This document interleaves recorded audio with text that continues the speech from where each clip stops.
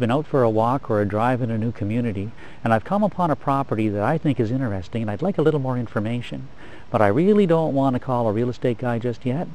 And this property has a QR code out in front of it and that's just perfect for me. All I have to do is take out my BlackBerry and Blackberries come with a scanner built into the new program of BlackBerry Messenger. All you have to do is update your software. There are also some third-party applications that can be used for scanners as well.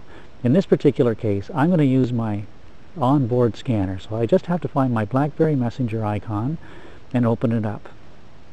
And then I push the button to the left of the center button, the options button, and I scan, I, I scroll until I find scan a group barcode.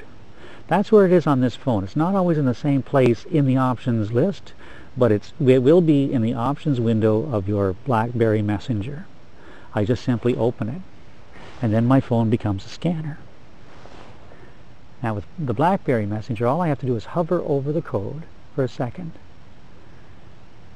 and it reads it just like that. It's asking me if I want to go to the link of this particular website, and the answer is yes. It takes me immediately to the website that's been put together for this property.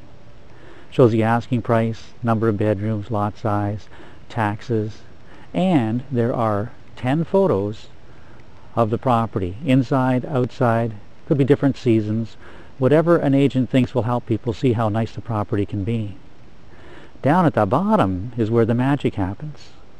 You've got your cell phone in your hand, and I have the ability to text, email, or call directly to the agent for more information or to make an appointment.